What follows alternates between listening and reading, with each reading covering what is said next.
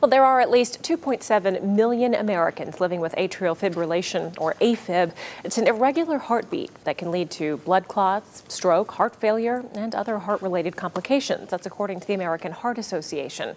It's a condition some experts call an epidemic. I would have um, shortness of breath. Um, I would have, um, I could feel my heartbeat I, I was very aware of my heart rate, you know, being irregular.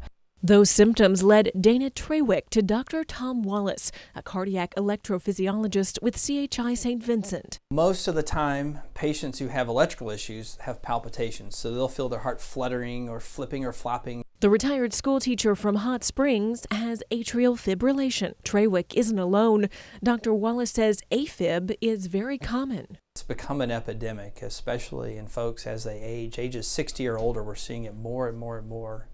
And it's caused by you know, all kinds of issues, you know, from obstructive sleep apnea to uh, an overactive thyroid. Sometimes it's just uh, a condition that the heart has as it ages. The meds and the, and the, uh, the ablation have controlled my AFib um, I really don't, I don't have any issues when I exercise now. Quality of life is great. With treatment, she's been able to get back to working out and encourages others with AFib symptoms to get checked. I feel great. Mm-hmm. I feel really good. That's a gift.